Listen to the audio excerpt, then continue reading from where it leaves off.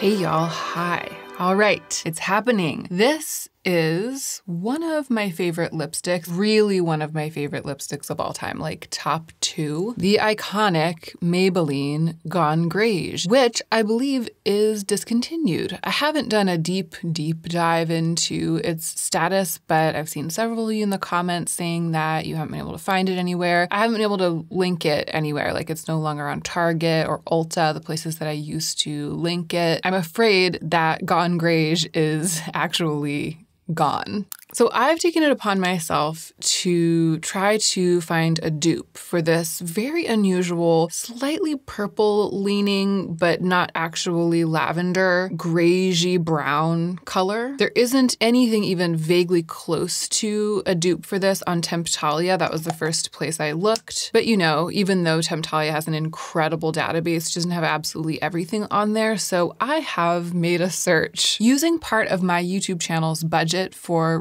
reviewing products, I purchased six lipsticks that, based on their online swatches, looked like they might be dupes for Gone Greige or somewhere in the realm of dupes for Gone Greige. I also have one lipstick in my collection that has quite a lot in common, but it isn't an exact dupe. I'm going to include that in this video. And then recently, when I was visiting my friend Khaki, we were messing around with her makeup and I came across a lipstick that I thought might be a dupe for Gone Greige. So I have that with me too. All in all, I'm going to be comparing eight candidates to the original Gone Greige to see if any of them is a dupe, and if none of them is a dupe, to see which one comes the closest. If this happens to be your first time to my channel, then welcome. I'm glad you're here. My name is Hannah. I make beauty content, but I try not to promote overspending on my channel. I try to keep it grounded. I mostly do talking head content, like face to face, but every once in a while I feel like there's a video concept that would be better suited to this close up overhead format. So if you like this kind of thing, I hope you will subscribe. And now let's go ahead and get into the meat of this video. So I've done a little bit of swatching on my own. I haven't really done a comprehensive swatch party. I mean, that's what I'm here to do on camera today. And I've taken lip swatch footage of all of these lipsticks. So I'll be showing you the swatches close up right here, but I'll also be inserting B-roll footage of myself trying all these lipsticks on my lips to give you even more information about how each one might look. And I'll tell you, based on the lip swatches, some of them are way off base. Like I can't believe that the online swatches, the online imagery of some of these lipsticks led me to believe believe that they might be close in color to Gone Greige. It really just goes to show how inaccurate online listings of makeup can be. But some of them have come pretty close, and I'm really curious to see what it'll look like when they're all swatched out. So let's start with a good juicy swatch of Gone Greige right here at the top. There it is. The gorgeous, the elusive, the goat. This is obviously a bullet lipstick formula. It's also a matte formula. And I am not just interested in duping the color, I am interested in duping the lipstick. So almost all the lipsticks that I have here are also bullet lipstick. They actually, they are all bullet lipsticks. Almost all of them are also matte formulas because I'm looking for something that could actually be like a full-on stand-in for Gone Greige. The original is the Maybelline Bold formula. I think it's like Maybelline Bold Matte.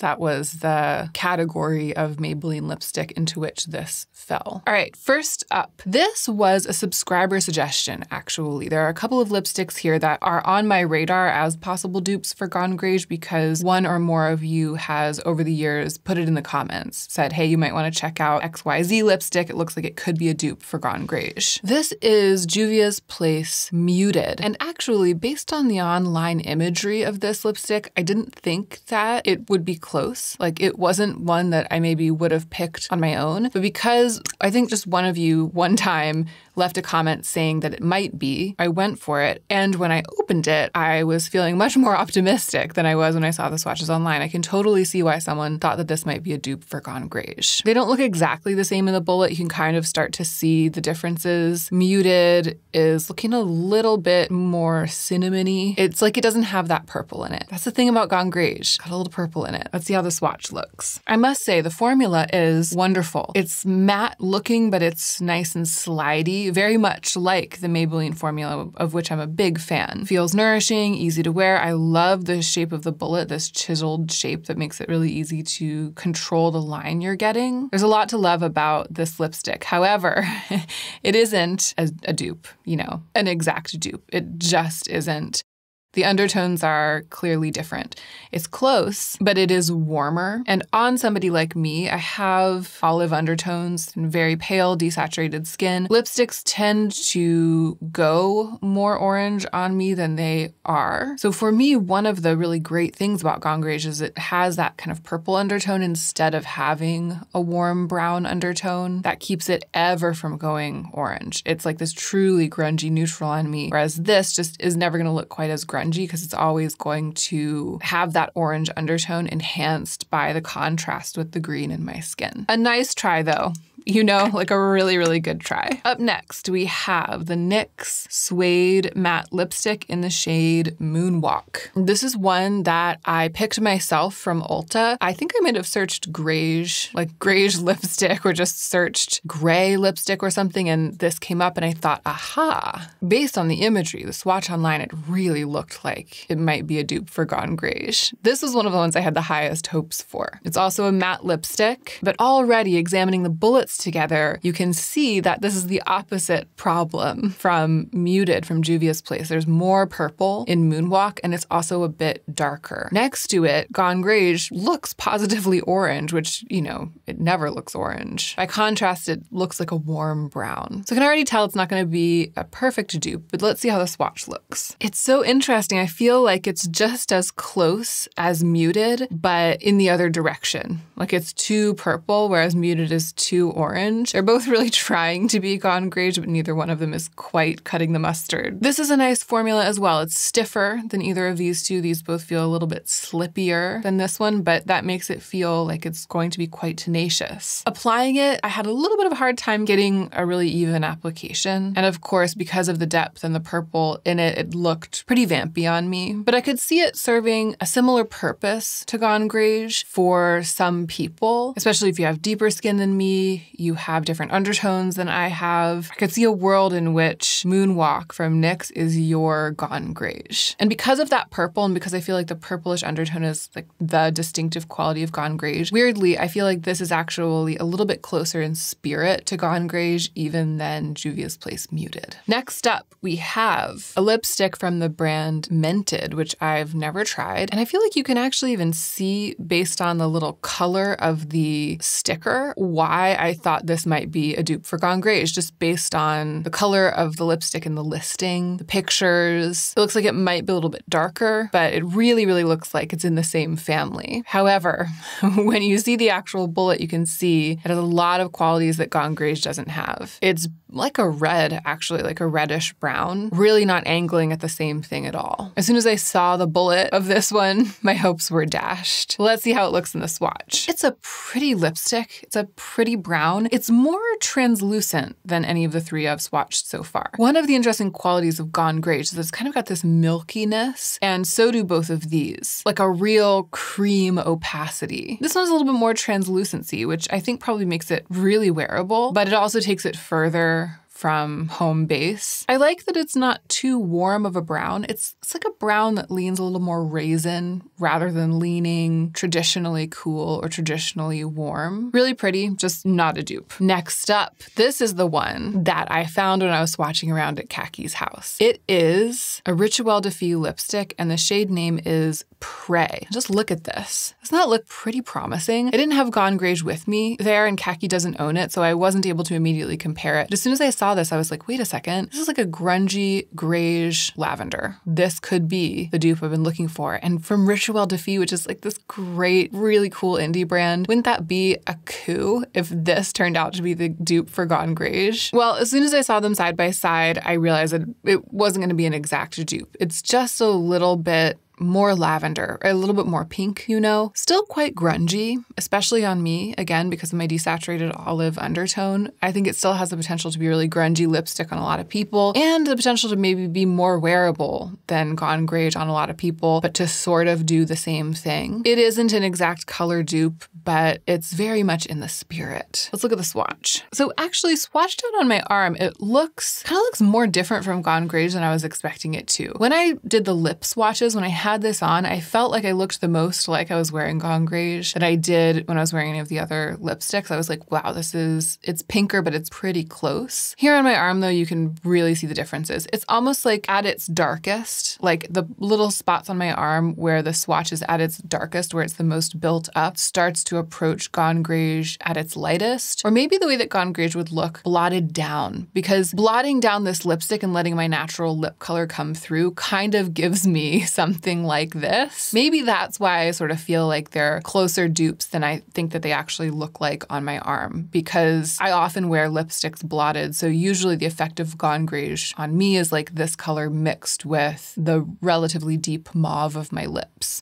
This also is heavily scented with lavender. There's lavender oil in it, as there is in I think everything that Rituel de Fille makes. It's just good to know. Other than that, really creamy, pigmented, easy to manipulate, and nourishing bullet lipstick formula. It's a good one. And a likely candidate, I think, if you really want something kind of like Gone Greige, even though it's not an exact perfect dupe. It might be, depending on your coloring, depending on what you want from Gone Greige, it might be the thing that's going to get you the closest. Okay, this was another subscriber recommendation. One of you in a comment one day suggested the Peripera Ink Intense stick in the shade 10, which is called Day Taupe. This is another one I didn't have the highest hopes for based on the pictures. I just got it because one of you said to give it a try. But then when I saw the bullet, I was like, oh, maybe it would be closer than I think. And yeah, they're kind of in the same realm. I mean, Gone Greige is definitely grungier, grungier and more brown, more cool toned. It's almost like this Peripera lipstick is like Gone Greige for the faint of heart. Let's look at the swatch. Oh yeah, swatched out it just looks like a mauve. I don't even know how they're getting away with calling this taupe. It's really different from Gone Greige. Sort of shows you how grungy Rituel de Fille Prey is because they're kind of similar. Rituel de Fille Prey almost looks like you took this lipstick and you mixed it with a little bit of Gone Greige, you know? However, I really like the formula of this. It's very soft, blendable, velvety. It was the one of all the lipsticks that I swatched that it was the easiest to get that soft, buffed, blurred lip line that I love. And unfortunately, from here, we go off the rails a little bit because the last two lipsticks that I purchased with my budget for review are these two Revlon lipsticks. Both of these lipsticks are in the Revlon Super Lustrous Matte formula. This one is the shade Untold Stories, and this one's the shade Shameless. Based on the swatches, like the little dots of color online, I didn't think they looked like they would be dupes, but the lip swatches, the way that each of these looked on the models, like when I Googled the colors and when I looked at the swatches in the listings on Ulta, they really looked grungy. Like they really, really did. And so I decided to give both of them a try, only to be totally disappointed because they're both just pink, right? They're just two shades of pink. And I mean, I think I could sort of see an argument for Untold Stories having a little bit of gray in it, or just being a little bit muted, a little bit desaturated. Both of them actually have a quality of desaturation in a vacuum. You know what I mean? I think if they weren't on my skin tone, if it's just like you're just looking at them, I could see the argument. And maybe they just do go kind of muted, a little bit grayish even on other people. But on me, they're just pink. And compared to Gone Greige, I mean, come on, nowhere near nowhere near the Gone Greige empire. I'll swatch him anyway. There's Untold Stories. Sad. It's just peach. And there's Shameless. It looks almost like a really matte version of Rum Raisin, one of the other Revlon lipsticks that I had for a while and of which I was quite fond. But they really have nothing to recommend them in this context. The formula is fine. The formula is lovely, actually. Very matte looking, but not bad feeling. But other than that, color wise, nothing to recommend them. So these were all the hopefuls that I kind of gathered together just for this video. And after I had lip swatched them all, I thought, you know, I don't know if any of them is as close to Gone Greige as Gucci A Royal Scandal, which I know isn't a dupe, but I went and got it anyway. This may be my favorite lipstick of all time. I actually feel like Gone Greige and A Royal Scandal are my two favorites, like the best of the best. And right away you can see why. There have been times in my life when I thought, oh, maybe this is the dupe, right? It's really, really kind of closer than anything that we've seen, especially when you're not comparing it directly to Gone Greige. When you compare it directly, you see the problem. It doesn't have purple in it. It's like a Royal Scandal. I feel like there's a maybe not hefty, but like a, a significant number of lipsticks on the market. Like a, there's a little corner in which there are gathered these lipsticks that have this grungy, almost greenish brown quality. I don't know if I've come across really, really strong dupes for a Royal Scandal, but some of my cool toned browns have come close. But for there to be a color that is like this and then just has a drop of purple, that's Gone Greige, and I just feel like it's the only one. I'm gonna go ahead and swatch this right next to the Gone Greige swatch at the top, though, so you can really see the differences. You can kind of see how close it comes. So, one of the biggest differences, and you'll really see this in the lip swatch between Gone Greige and A Royal Scandal, is that A Royal Scandal is a Gucci satin. It's not matte. It's really, really emollient on the lips, and that makes it wear differently. But the colors are also different. You can see it up close there. Gone Greige has a drop maybe of mauve, maybe of purple, maybe of like a pinkish purple, a lavender. A Royal Scandal is like Gone Greige without the purple. So, I've been highly aware because because I've been thinking about the uniqueness of this lipstick for a long time. I've been highly aware of those subtle but to me significant differences between these two colors. But with all of these hopefuls swatched out, I feel like it's definitely the closest. I mean, are you seeing what I'm seeing? I really feel like it is the closest dupe, all things being equal. I do think that there's some really good options here for you if your undertone is slightly different from mine or your skin tone is different. Hopefully, you'll be able to sort of reverse engineer and figure out that maybe Rituel de Fille Prey would be your Gone Greige, NYX Moonwalk might be your Gone Greige, Mented might actually even be your Gone Greige. I feel like the best candidates, though, are the ones that do have that purple in them. But at this stage, at least in this round of trying to dupe this this color, I think that the best chance that I'll have at replicating it in the future will be to mix Rituel de Prey with a Royal Scandal. I'm gonna do that in the back of my hand and see how close I can get. So there's Gone Greige in all of its glory. There's a Royal Scandal. And actually, I feel like those big swatches and without the distraction of the other ones, you can see the differences even more clearly.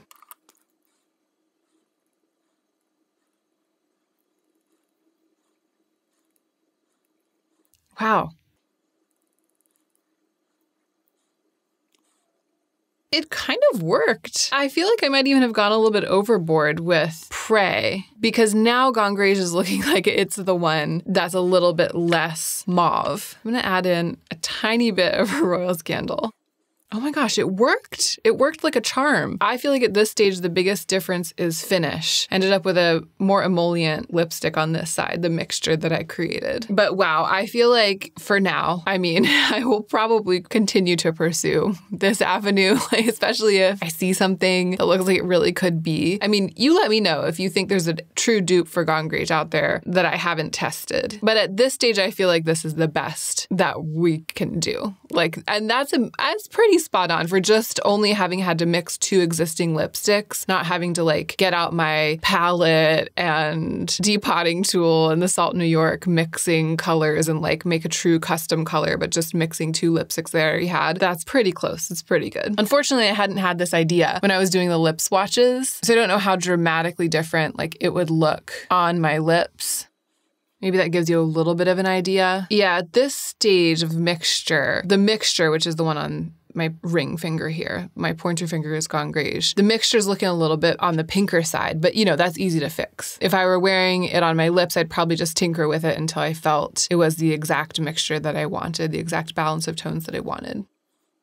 Okay, and those swatches there, you can see that I've gone too pink in the mixture. It needs a little bit more a royal scandal mixed in. But again, I just I feel confident that I could get there. Like I know that between those two, I could get there by tinkering. Well, this was really fun, an indulgent but I think really interesting way to spend some of my channel's budget for reviewing products. I just want to end the video by saying that I'm not usually super hyper focused like I have been in this video on finding an exact dupe for a color. I often feel like the spirit of the thing, the vibes of the color, that's what really matters. And in many cases, if you get yourself quite close, there really isn't a difference like between the experience of wearing whatever your favorite red, like what you thought your perfect red was, and if it's been discontinued, the next best thing that you might find. I feel like makeup products come and go. They're around for a while and then they're discontinued. And I think that being hyper focused on needing, like needing to own the exact color, the exact one, buying a bunch of backups, buying like expired makeup and using it, I feel like that can get to an unhealthy place in beauty and it can kind of aggravate the propensity to overspend, the fantasy that there is such a thing as like the perfect lipstick. So I usually don't do this. I do really love Gone Greige if I get to the point where I feel like it's so expired that I don't want to use it anymore and I can't find a dupe, I'll be fine. Both because I have lipsticks that are not the same, but definitely do the same thing, you know? But also because it'll be okay if I had a phase of my life where I was able to wear this color on my lips, and then I enter a phase of my life where I'm not. That's actually okay. I decided to do this not because I